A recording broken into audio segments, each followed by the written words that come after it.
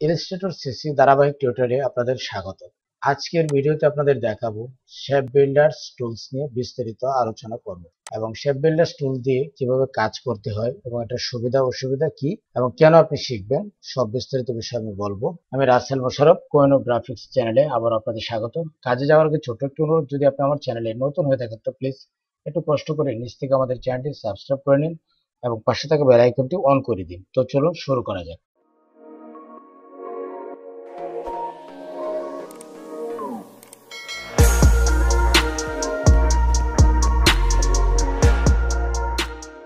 তো আমরা প্রথমে একটি ইলপাস টুলস নেব। নেওয়ার পর আমরা বোর্ডটাকে সাদা করে নিলাম কন্ট্রোল শিফট এইচ দিয়ে।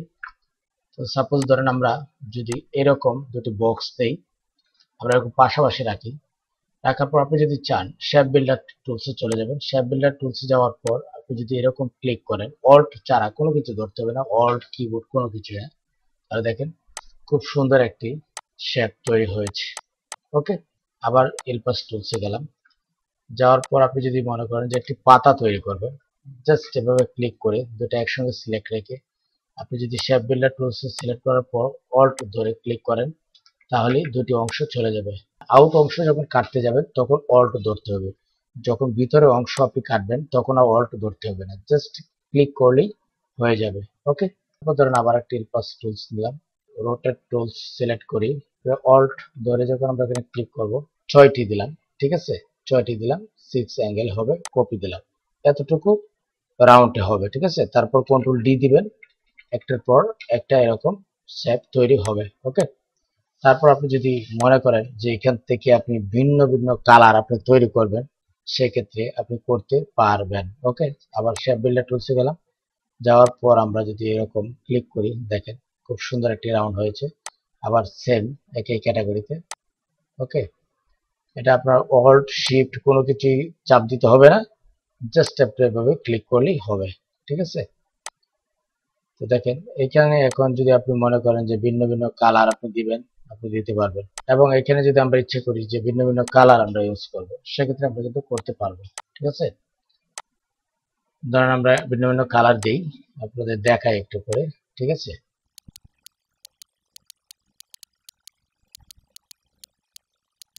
চাইলে আপনি গ্রেডিয়েন্ট কালারও করতে পারবেন ওকে সাপোজ ধরেন এখানে রাখলাম রেখে আপনি যদি এখান থেকে গ্রেডিয়েন্টে ক্লিক করেন, শুধু বিন্দুতে ক্লিক করলেই আপনার গ্রেডিয়েন্ট হয়ে যাবে, তা চাইলে আপনি এখান থেকে কালার আপনি দিতে পারবেন। বিন্দুতে ক্লিক করলেই কালার হয়ে যাবে, তারপর আপনি এভাবে কালার করতে পারবেন ওকে আপনি যদি চান ফ্লাওয়ার তৈরি করবেন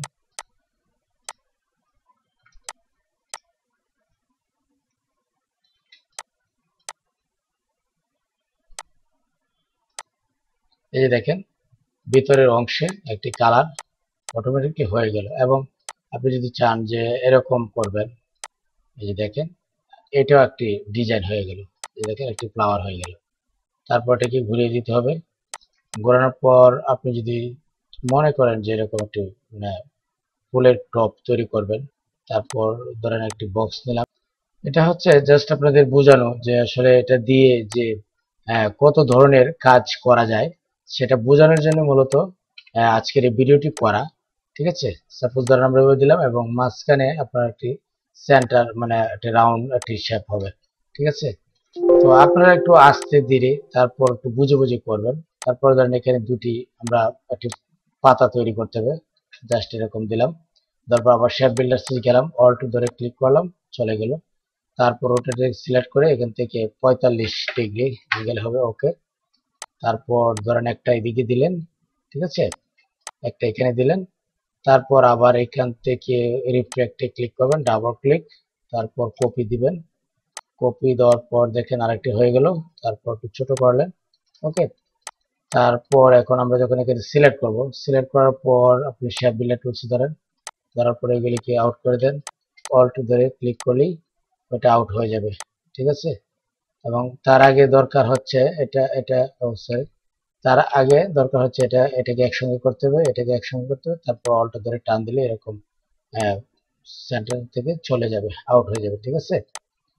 এই যে দেখেন, এটা কিন্তু একসঙ্গে অল্টো ধরলেই ভিতরের অংশটা চলে গেল। দেখেন, চমৎকার একটি ফ্লাওয়ার আমি তৈরি করে ফেলেছি ওকে চমৎকার একটি ফ্লাওয়ার আমি তৈরি করে ফেলেছি। এবং আপনি চাইলে এখানে আরও অনেক কিছু করতে পারেন। আমরা যদি মনে করি যে এরকম একটা রাউন্ড শেপ নিলাম রাউন্ড শেপ নেওয়ার পর ধরেন এখানে কন্ট্রোল সি আবার কন্ট্রোল এফ দিলাম, দেওয়ার পর নিয়ে ভিতরের অংশে আরেকটি দিলাম, ঠিক আছে? এখন আপনি যদি চান, এখানে আপনি এটাকে একটু বোল্ড করেন, একটু সাদা করেন। ওই যে সাদা অংশটা যেটা আছে, সেটা আমরা খুদাই করে নিব, ঠিক আছে? এটা খুদাই করে নিব এবং ভিতরের যে অংশটা আছে, এই যে মানে কালো অংশটা, ওই কালো অংশটা দেখা যাবে। এটা তো সাদা দেখা যাচ্ছে, কালো অংশটা দেখা যাবে। মানে এটা মানে কাটিং হয়ে যাবে। তো কাটিং মানে এটা হচ্ছে মূলত যে পাত পয়েন্টের থেকে এখানে যে কাজটি করে, সেই কাজটি মূলত করবে, ঠিক আছে? তো এখন এখান থেকে আপনি চাইলে যদি এইভাবে দেন, তাহলে কিন্তু আপনি ওই যে স্ট্রোকটা যতটুকু আছে, ততটুকু কিন্তু যাবে না, ঠিক আছে? আপনি যদি এইভাবে দেন, তাহলে সবটা চলে যাবে। তো সেই ক্ষেত্রে আপনাকে যেটি করতে হবে, এখান থেকে আউটলাইন স্ট্রোক করে নিতে হবে। করার পর সিলেক্ট করে তারপর আপনি যখন শেপ বিল্ডার থেকে জাস্ট এটি ক্লিক করবেন অল্ট ধরে ক্লিক করবেন, তখনই এটি কোথায় হয়ে যাবে। ওকে তারপর চাইলে এটাকে ছোট বড় আপনি করতে পারেন।